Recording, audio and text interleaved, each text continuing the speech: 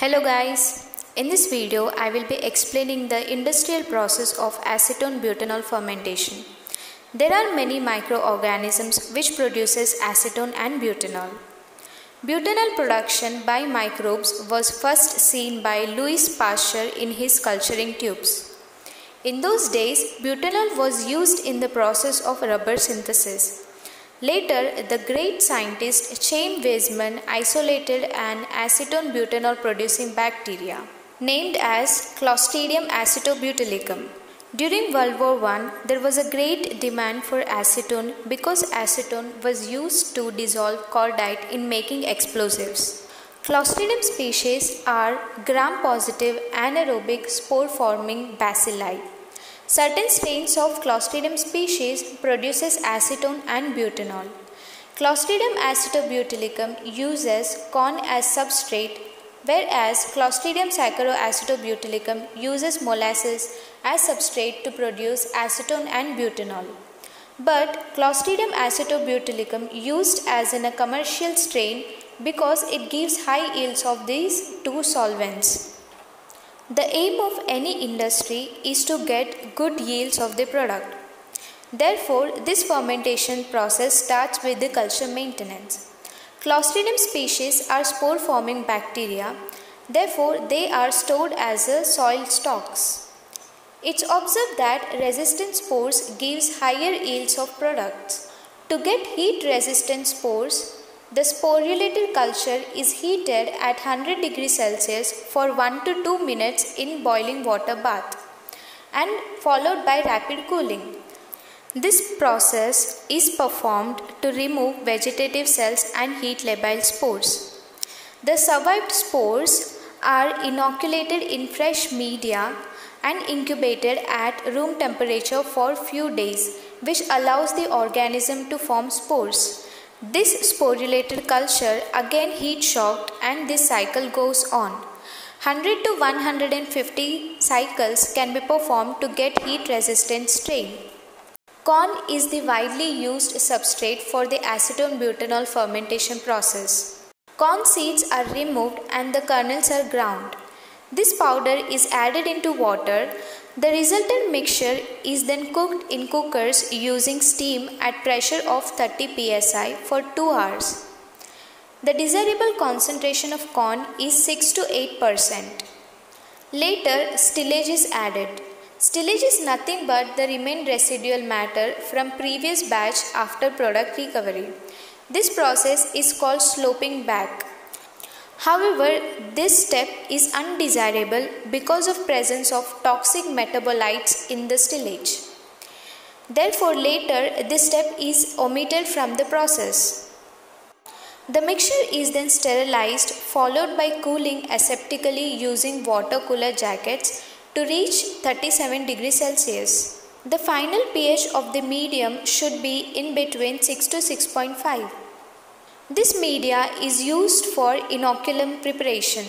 The inoculum development happens in three stages. The first stage is first generation culturing, where 1 gram or 1 ml of stock culture is inoculated in 15 ml of media, followed by incubation at 37 degrees Celsius for 24 hours. In second generation culturing, the first generation culture is inoculated in 2900 ml of media followed by incubation at 37 degrees Celsius for 24 hours. The second generation culture is inoculated in 1000 gallons seed stage tank containing 75% of media. The third generation culture is used as the final inoculum for the fermentation process. The inoculum should be growing and gassing actively. For the fermentation process, Clostridium acetobutylicum requires anaerobic conditions. Therefore, the anaerobic fermenters having capacity of 50,000 to 5 lakh gallons are used. These fermenters are sterilized using steam at 20 psi then cooled using water jackets. Air trapped in the fermenter is removed by pumping inert or carbon dioxide gas to maintain anaerobic conditions. 2 to to 4% of inoculum is added first, followed by the addition of media for proper mixing. Before addition of the media, the media is tested for pH, contaminants and density. The head space is filled with carbon dioxide or inert gas at positive pressure of 2 to 3 psi. These gases acts as antifoam agent and prevents contamination of the fermentation broth with aerobes. This fermentation process happens in three phases. In first phase, the bacteria grows rapidly by converting sugars to acetic acid, butyric acid by releasing carbon dioxide and hydrogen gases. As a result of acid production, the pH decreases. At the end of the first phase, the bacteria starts producing adaptive enzymes. During second phase, these adaptive enzymes converts acetic acid to acetone and butyric acid to butanol. As a result, the pH of the broth increases. This point of the fermentation process is known as a acidic break. During third phase, solvent production and rate of gas evolution decreases and at the end of this phase cell undergoes autolysis resulting in the release of vitamins and riboflavin.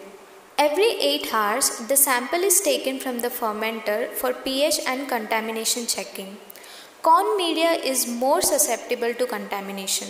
Lactobacillus leichmannii was seen more to contaminate the media. It produces lactic acid and slime causing foam formation. The production of lactic acid prevents the adaptive enzyme formation which results in no acidic break. Phage is also seen to contaminate the broth resulting in decrease of bacterial numbers as a result affecting on the fermentation process.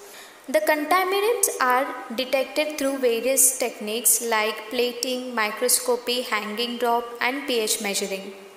2 to 3 days are required for the completion of fermentation process. Throughout the process, the temperature is maintained at 37 degrees Celsius.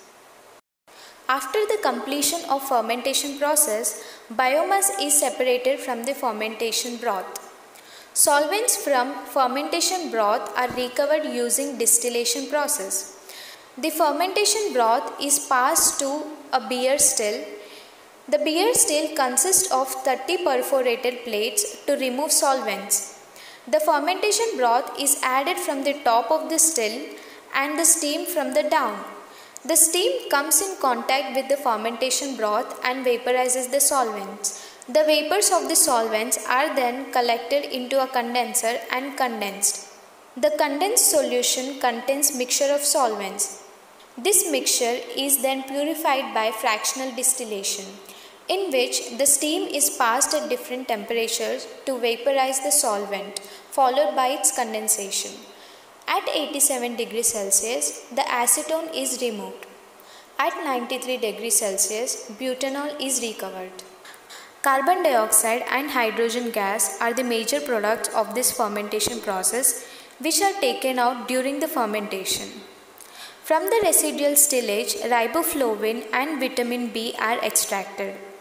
30% of the carbohydrates are converted to solvents. The ratio of butanol, acetone and ethanol produced is 6 is to 3 is to 1.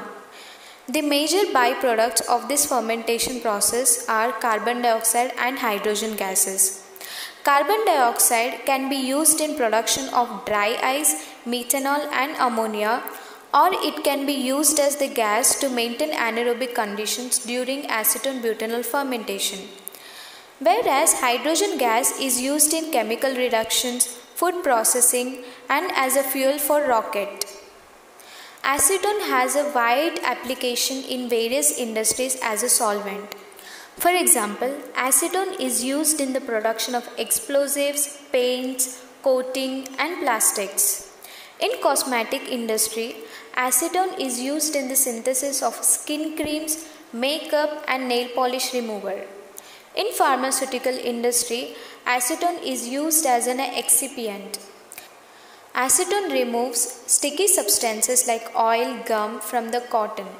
Therefore, it is used in textile industries.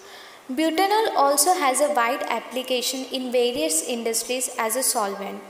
Butanol used in the manufacturing process of rubber, plastic, lubricants. It is also used as the source of biofuel. Butanol is used as a solvent for nitrocellulose lacquers used in the automobile industries. In pharmaceutical industries, butanol is used in the recovery process of drugs. Butanol is also used in the making of polishing and cleaning products.